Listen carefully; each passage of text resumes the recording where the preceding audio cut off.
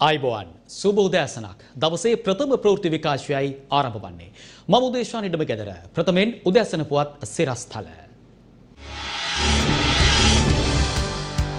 Covid තුරන් කළ දකුණු ආසියාවේ ප්‍රථම රට ලංකාව බවට පත්වනවා. මන්ත්‍රී රංචිත් බණ්ඩාර කියයි. ප්‍රහාරයක අනතුරක් ඇත්නම් වගකැවයුතු නිලධහරියෙකු කාදිනල් හිමියන් දැනුවත් කළ යුතුයි. සිරිල් ගාමිණී පියතුමන් කියයි. සහල්මිල පාලනය කිරීමට නම් වෙළඳ ඒකාධිකාරිය බිඳ දැමිය යුතු බව ජනතා විමුක්ති පෙරමුණ පෙන්වා දෙයි. ප්‍රථමෙන් අවධානය දේශීය පුවත් වෙත. සහල් මිල පාලනය කළ හැකි වන්නේ වෙළඳ ඒකාධිකාරය බිඳ දැමීමෙන් පමණක් බව ජනතා විමුක්ති පෙරමුණේ නායක පාර්ලිමේන්තු මන්ත්‍රී අනුර කුමාර දිසානායක මහතා පවසනවා. ඒ ඊයේ කොළඹදී පැවති මාධ්‍ය හමුවකදී. මේගොල්ල හැමදාම නියෝජනය කරන්නේ මාෆියාකාරයෝ. ඒක තමයි මේ පෙන්눔 කරලා තිබෙන්නේ. වීමෝල් වටලන, හදිස් නීති දාන, ඩේටාබේස් ගැන කියන එවැනි මාධ්‍ය සංදර්ශන රටක් රවට්ටන්න බැරි බව දැන් ඔප්පු වෙලා තිබෙනවා. ප්‍රධානතම ආහාරය බත්. ඒ නිසා ප්‍රධානතම පාරිභෝගික අවශ්‍යතාවය සහල්. එනං ඒ පාලනය කළ හැකි වන්නේ කොහොමද? වී මිලදී ගැනීමෙත් සහල් විලඳ පොලිත් ඒකාධිකාරී බෙදින්න ඕන. අද අපේ රටේ වී මිලදී ගන්නෙත්, වී ගබඩා කරන්නෙත්, වී සහල් බවට පත් කරන්නෙත්, සහල් තොග වෙළඳාමේ යෙදෙන්නෙත් ඉතා කුඩා කණ්ඩායමක්. සිරදාහතක නයිට්‍රජන් ප්‍රතිශතය තියෙන කාබනික පොර කොහෙවත් නිෂ්පාදනය කරන්නේ. එහෙම නැහැ ඒකට අනිවාර්යයෙන්ම රසායනික යෙදුම් කරලා තියෙනවා. එහෙම නැත්නම් 17ක් නයිට්‍රජන් ප්‍රතිශතයක් තියෙන්නේ නැහැ කාබනික පොරවල. හැබැයි ටෙන්ඩර් ඉල්ලුම් කරනකොට එහෙම පත්‍රිකාව හැදුවා. ඒ නිසා කාබනික පොර ගෙන්වීම සඳහා නියෝජිතයන් හැටියට කටයුතු කර බොහෝ සමාගම් ටෙන්ඩරයට ඉල්ලුම් කරේ නැහැ මොකක් නිසාද? 17ක කාබනික නයිට්‍රජන් ප්‍රතිශතයක් තියෙන කාබනික පොර දෙන්න බැරි නිසා. එක සමාගමක් තෝරගත චීනේ කින්ඩාවෝ කියන සමාගම. ටෙන්ඩරේ දානකොට 17ක නයිට්‍රජන් ඕන. ටෙන්ඩරේ ප්‍රදානය කරනකොට 10ක නයිට්‍රජන්. එක්කෝ අපේ රට විශාල ආහාරගයක් ඇති වෙනවා. ගොවි ජනතාව කුෂ්කර්මාන්තය අත්තරිනවා. ඒ ඉඩම් කොම්පැනි කාරයන්ට දෙයි. ඒ නිසා මේ සලස්ම තිබෙන්නේ. ගොවි ජනතාව කුෂ්කර්මාන්තයෙන් පළවා හරිමින්. රජයේ ගැසට් රිවර්ස් කිරීම මහපරිමාණ මෝල් හිමියන් වී සහ සහල් සඳහා මිලක් නියම කිරීම ඇතුළු කරුණු කිහිපයක් පිළිබඳව විවිධ අදහස් පළ වුණා. ලංකාවේ තමයි පළවෙනි වතාවට බඩු විකුණන මිනිස්සු ඇවිල්ලා ජනතාවට කියනවා අපි මේ ගානට විකුණනවයි කියලා. ඉතින් එහෙම කරන්න ආණ්ඩුවක් ඕනේද? ඔය ඇමතිවරු තුන්දෙනාම වහාම ඉල්ලාස් වෙන්න ඕනේ. ලැජ්ජයි. ඔය තනතුරු වලට ලැජ්ජයි. වෙලා තියෙන දේ. ඕ වහාම ඉල්ලා අසල ඕව දෙන්න ඊට වඩා හොඳයි ඉස්කෝලේ ළමයින්ට දුන්නා නම්. නෑ නෑ ඉස්කෝලේ ළමයින්ට නෙමෙයි. ඕක දෙන්න ඩඩ්ලි සිරිසේනට. මං හිතන්නේ මීට වඩා ටිකක්වත් හොඳට කරයි. ඔය ඔය ගානට වඩා ටිකක් අඩු කරලා කරයි. ජනාධිපතිතුමා එක වැරද්දක් කරා ගැසට් ගහපු එක. ඒ නිසා වඩා හොඳ දේ තමයි රට ඉල්ලන්නේ අඩු මිලට කන්න නම් කරන්න තියෙන එක දෙයයි පිටරටින් බඩු ටික ගේන එක. ඒ නිසා තමයි පිටරටින් හාල් ටික පිට ගේන්න සිදු වෙලා තියෙන්නේ. හාල් විතරක් නෙමෙයි බීලුණු ගෙඩියේ ඉඳලා රතුලුණු ගෙඩියේ ඉඳලා මේ රටට පිටරටින් ගේනවා නම් අඩුවට කන්න දෙන්න පුළුවන්. හැබැයි මතක තියාගන්න තවදුරටත් රටේ අවසානයේ තමයි ලියාගන්න වෙන්නේ මේ රටේ නිෂ්පාදන ව්‍යාපෘති නැති වෙලා ගියාම නැවත මේ රටේ දරුවන්ට රටක් ඉතුරු වෙන්නේ නැහැ. හාල්මෝල් හිමියන්ටම මේක දීලා දැම්මනම් කම්පැනි කාරවන්ටම ඕන විදියට බල බිල වැඩි කරගනින්නලා කියලා දීලා දැම්මනම් ප්‍රයිවට් බස් කාරවන්ට ඕන විදියටම බල බස් ගාස්තු වැඩි කරගනින්නලා කියලා දීලා දැම්මනම් බේකරි මහත්වරුන්ට ඕන විදියටම කෑම වර්ගවල මිලිහෙල දාගනින්නලා ආරය කියලා ඕක දුන්න නම් මේ ඇමතිවරු මොකටද? කුම්බලා මාළු කෑවා නම් බිඳවාපම් බලලෝ කියන්න වගේ වවුලගේ මගුල් ගෙදර ගියා නම් එල්ලිලාම හිටපන් මල්ලියේ ගොවියාට අවශ්‍ය මිල ප්‍රමාණයක් පාරිභෝගිකයාට දැරිය හැකි මිලකටත් සියලු භාණ්ඩ සැපයීමට අවශ්‍ය වැඩ කටයුතු කරනවා. මේක අපේ රටේ විතරක් ඇති වෙච්ච තත්ත්වයක් නෙවෙයි. ලෝක වෙළඳපොලේ භාණ්ඩ මිල ඉහළ ගිහිලා තියෙනවා. සැපයුම් ජාල අකර්මණ්‍ය වෙලා තියෙනවා. මේ අර්බුද සියල්ල කොරෝනා එක්ක බැඳිච්ච අර්බුද. නාට්‍යයේ නිෂ්පාදකවරු අධ්‍යක්ෂකවරු නළු නිලියෝ ටික දැන් මේකේ තමන්ගේ ප්‍රොෆිට් එක දැන් ගණනය කරන වෙලාව. තමන් මේ නාට්‍ය පෙන්නලා උපයාගත්තු මුදල බෙදා හදා ගන්න වෙලාව තමයි දැන් තියෙන නිසා සභාතුමෝ සතුටින් විසිර ගිහිල්ලා මේ අයට මේ තමන්ගේ ලාභය ගණනය කරගන්න අවස්ථාව ගලතා දීම තමයි අපි මේ සහ වී නාටක හරහා දැක්කේ. මේ ව්‍යාපාරිකෝ හැමතිස්සෙම බලන්නේ විශාල ආදායමක් ලබන්න අවාසනාව හැබැයි ඒ අය දන්නේ නැතුව ඇති Taman මැරෙන බව. මේ ජනතාවට කන්න දෙන්න යම් සාධාරණ මිලකට කටයුතු කරන්න මේ වීමාපියාවක් සහල්මාපියාවක් ඇති බත් කන ජනතාවත් අපස්ථාවට පත් කරන්න එපා කියන කාරණාව අපි විශේෂයෙන්ම මතක් කරනවා. බන්දුල ගුණවර්ධන වෙළඳ ඇමතිතුමාටත් කෘෂිකර්ම ඇමති මහින්දානන්ද අලුත්ගමගේ මහත්මයාටත් පාරිභෝගික කටයුතු රාජ්‍ය ඇමති ලසන්ත අලගියවන්න මහත්මයාටත් කියනවා. ඔබතුමන්ලා තුන්දෙනාට ලැජ්ජාවක් කියලා එකක් තියෙනවා. නම් තමන්ගේ වගකීම තමන්ට ඉටු කරගන්න පුළුවන්කමක් ලැබුණේ නැහැ කියලා. තමන්ට අදහසක් තියෙනවා නම් වහාම මේ අමාත්‍යංශ තුනෙන්ම ඉල්ලා අස්වෙන ලෙස අපි එතුමන්ලාට මතක් කරනවා මොකද අපොහොසත් ඇමතිවරුත් එක්ක අපිට ඉදිරියට යන්න පුළුවන්කමක් නැහැ වගකීමකින් කියනවා ලබන මාස් කන්නේ ගන්න අස්වැන්න එනකොට අපි ඇත්තටම මේකට මේ අපි සහල් නිෂ්පාදනය කිරීමේ වැඩපිළිවෙලට අපි අවතීර්ණය වෙනවා. ඉතාම බරපතල විදිහට අපි මේකට අවතීර්ණය වෙනවා. එහෙම නැත්නම් මේක පාලනය කරන්න හම්බෙන්නේ නැහැ. රටේ තීන්දුව తీරන ගන්නේ කවුද? මිනිස්සු කන්න බොන්න බඩු ගන්න පෝලිම් වල තියන්නේ කවුද? රටේ බහන්න මිල තීරණය කරන්නේ කවුද? ජනාධිපතිතුමා අගමැතිතුමා කියන දේ නොකරන්නේ කවුද? අද white and black ඒ පිළිබඳවයි.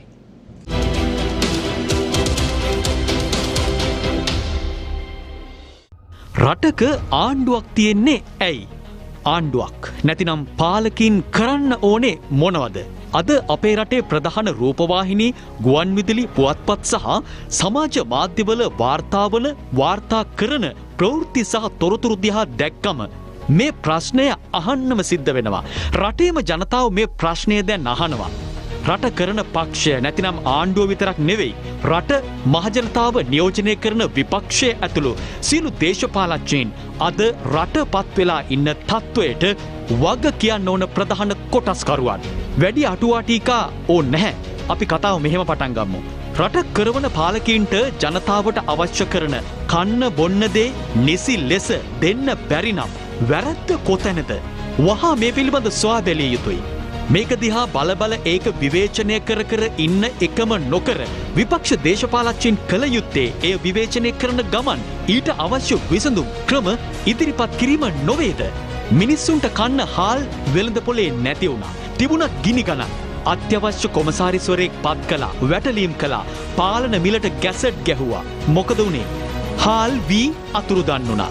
ගැසට් ගැහුව වැටලීම් කලා වෙළඳ පොලේ සීනි අතුරුදන් වුණා. ගෑස් මිල වැඩි කරන්න ඕන කියලා ගෑස් සමාගම් කිව්වා. ගෑස් වෙළඳ පොලේ අතුරුදන් වුණා. මිල වැඩි කරන්නත් අවසර දුන්නා ඒත් තවම ගෑස් පෝලිං රටපුරා. පුංචි දරුවෙකුට දෙන්න කිරිපිටි පැකට් එකක් හොයාගන්න අද දෙමාපියෝ පැය ගණන් වෙළඳසැල් ඉදිරිපිට පෝලිං වල. මේ මොහොතෙත් පෝලිං වල. කිරිපිටි අතුරුදන් වෙලා. තිරිඟු පිටිත් හංගලා අතුරුදන් වෙලා වෙළඳ පොලේ. දැන් වැසිකිලියක් හදන්නවත් සිමින්ති නෑ. අතුරුදන් සිමින්ති. වෙළඳ පොලේ මේ වගේ තව ඕන තරම් ජනතාවට අත්‍යවශ්‍ය ඒත් හොයාගන්න බැරි බඩුබාහිරාදිය ලිස්ට් ගණන් අපිට දෙන්න පුළුවන්. අනික වෙළඳ පොලේ කිසිම අවසරයක් හෙවිල්ලක් බැලිල්ලක් නැතුව බහන්ඩ මිල ආහාරමිල පැයින් පැය අහස උසර නංවනවා. කෞද මේවා පාලනය කරන්නේ කෞද මේවා හොයලා ජනතාවට පිහිටක් වෙන්නේ. රජය හාල් ගැසට් එක රිවස් කරගත්තා ඊයේ. මහපරිමාණ මෝල් හිමියන් ඩඩ්ලි සිරිසේන මහත්තය ඇතුළු පිරිස ඊයේ ඔවුන්ගේ සහල්මිල සහ වීමිල ප්‍රකාශයට පත් කළා. රජය නෙමෙයි එහෙම කළේ මහා පරිමාණ මෝල් හිමියන් පොළොන්නරුවේදී. දැන් අපිට ප්‍රාදේශීය වාර්තාකරුවන් පවසන්නේ අතුරුදන් වෙලා තිබුණු හාල් සහ වීතොග වෙළඳ පොල්ට එන්න පටන් අරගෙන කියලා. කෞද දිනුම් කෞද පැරදුනේ කියලා නම් අපි අහන්නේ නෑ. ජනතාව පරාදයි. ඩොලර් හංගලාලු කිරිපිටි හංගලාලු සීනි හංගලාලු සිමෙන්තිත් හංගලාලු රජය සහ වග කියයුතු නිලධහරින් මේ කියන්නේ. ජනාධිපතිවරයා අග්‍රාමාත්‍යවරයා මුදල් අමාත්‍යවරයා උපදෙස් ලවා දෙනවා විශේෂ රැස්වීම් සාකච්ඡා පවත්වමින් ජනතාව පීඩාවට පත් නොකර ජනතාවට සහන සලසන්න කියලා. ඒත් ඇයි මේවා බිම්මට්ට මේ ක්‍රියාත්මක වෙන්න ඇත්තේ. වැරද්ද කොතනද කියලා ආණ්ඩුව ඇමතිවරු රාජ්‍ය ඇමතිවරු ලේකම්වරු පාලකින් නිලධහරි මේ අවබෝධ කර නොගත්තොත් රටේ ඇතිවන ව්‍යසනය කොරෝනාවටත් වඩා භයානක වනු ඇති.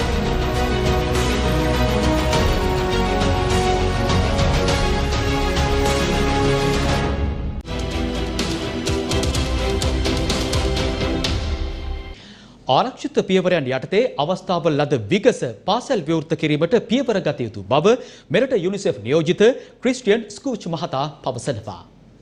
The education hasn't stopped. I think the government has done a very good job in trying to continue education. The steps we need to take is to make sure that the schools can reopen as soon as possible under safe conditions. The mental health aspect is something often forgotten, not only of children but also of adults. Having to be confined at home for a long period, it's very important to raise the issue, seek support for parents to and accompany their children, to observe their children, to check how they are doing, not to put too much pressure. විකිනීම වෙනුවට ආයෝජනය යන නම භාවිතා කිරීම රජයේ ප්‍රතිපත්තිය වී ඇති බව පාර්ලිමේන්තු මන්ත්‍රී එස්.එම්. මරික්කාර් මහතා පවසනවා. ඒ ඊයේ කොළඹදී පැවති මාධ්‍ය හමුවකට එක්වෙමින්. යුගදනවී බලාගාරය ඇමරිකානු නිව් ෆෝට්‍රස් සමාගමට ඩොලර් මිලියන දෙසී පණහට විකුණලා ඒක සාධාරණීකරණය කරන උත්සාහ කරනවා. දැන් මේ ආණ්ඩුව අලුතෙන්ම හොයාගෙන තියෙන වචනය තමයි විකුණනවා වෙනුවට ආයෝජනය කියන නම පටලවන එක. අවුරුද්දකට රුපියල් බිලියන දෙකක ලාභාංශ ලබා දෙන මේ සමාගම තමයි 140ක් ඇමරිකාවට විකුණන්න යන්නේ. මේ අවුරුද්දේ පළවෙනි මාසාටේ 126කින් අපනයනය වර්ධනය වෙලා තිබ්බේ අපේ අපනයනයට තියෙන ඉල්ලුම නිසා. දැන් යුරෝපා පාර්ලිමේන්තුවට යෝජනාවක් ඉදිරිපත් වෙලා තියෙනවා අපේ රටේ මානව හිමිකම් වලට ගරු නොකරන නිසා මූලික මිනිස් අයිතිවාසිකම් සහ මාධ්‍ය නිදහස නොමැති වීම නිසා මේ රටට GSP+ ලබා නොදිය යුතුයි කියලා යෝජනාවක් ඉදිරිපත් වෙලා තියෙනවා. මර්ධනයට දාගත්ත හදිසි නීතිය වහාම ඉල්ලා අස් කරගන්න කියලා අපි සමගි ජන බලවේගයේ හැටියට මේ ආණ්ඩුවට බල කරලා කියනවා. අද කාබනික පොහොර ගෙන්නන්න මේ අය මෙට්‍රික් ටොන් 99000ක් මේ වෙනකොට මෙට්‍රික් ටොන් 20000ක් ගෙන්නන්න කටයුතු කරනවා. දැන් මේ වෙනකොට වාර්තා තුනක් ෆේල්. යෝධ නිදිකුම්බා ආවේ මහවැලි ව්‍යාපාරයට ආපු පස් පොඩ්ඩක තිබිලා. දැන් අද මහවැලි ගඟ දිගේ ගිහිල්ලා දැන් ගොවි බිම් විනාශ වෙනවා, ජලාශ විනාශ වෙනවා. යෝධ නිදිකුම්බ නැත්තම් මිමෝසා පිග්‍රා නිසා. ඉතින් මේ වගේ භයානක තත්වයක් තියෙද්දි අපිට කෘෂිකර්ම අමාත්‍යාංශය කියන්න ඕනේ මේ කාබනික පොහොර ගෙන්නනවද නැද්ද? තාම හරියට නිල ප්‍රකාශයක් කරලා නැහැ. දේවස්ථානවලට ප්‍රහාර එල්ලවීමේ පොදු අනතුරක් ඇත්නම් රජයේ වගකිය යුතු නිලධාරීන් ඒ පිළිබඳව කාදිනල් හිමිපාණන් දැනුවත් කළ යුතු බව සිරිල් ගාමිණී පියතුමන් පවසනවා. ඒ කොළඹදී පැවති මාධ්‍ය හමුවකට එක්වෙමින්.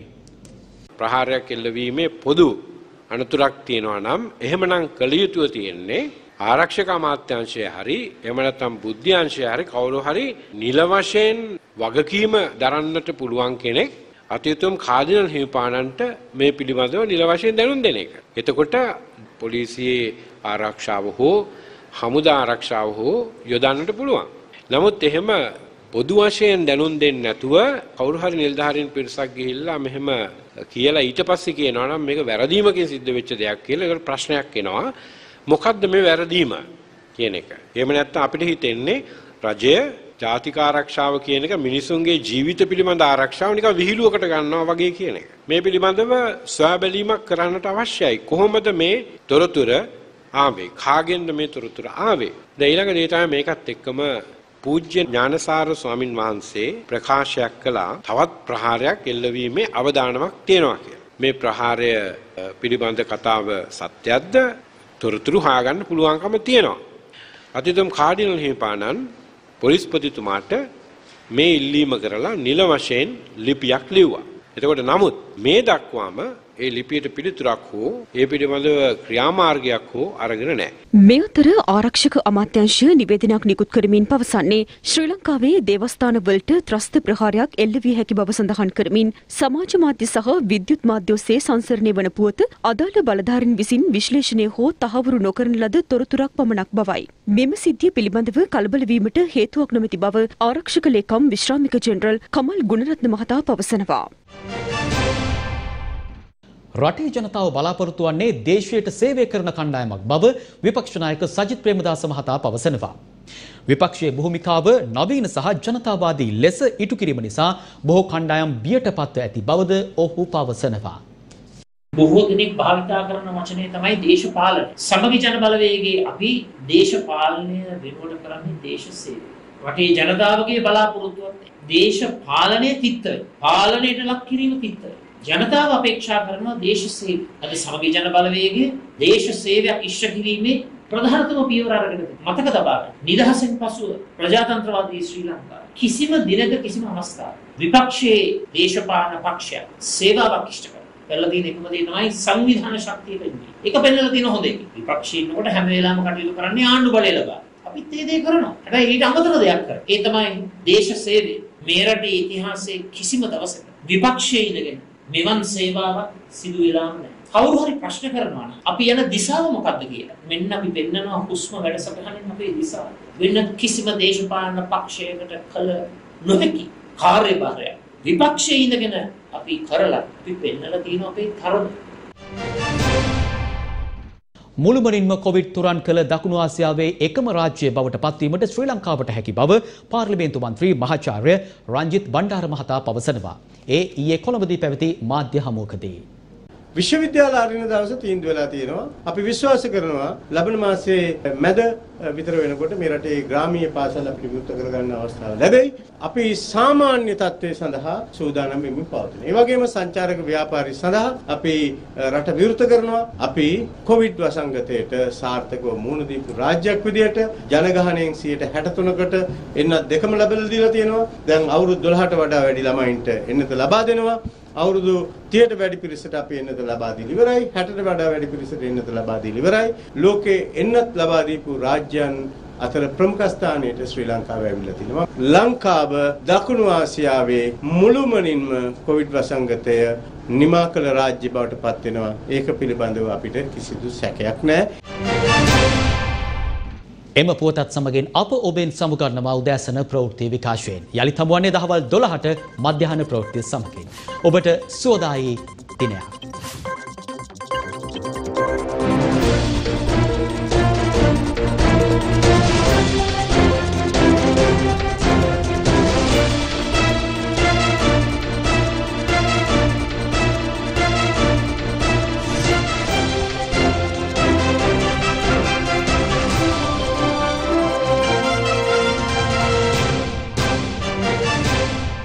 දිනපතා අලුත් වීඩියෝ සහ ප්‍රවෘත්ති නැරඹීමට ඉහත බටන එක ක්ලික් කර සියත TV සබස්ක්‍රයිබ් කරන්න.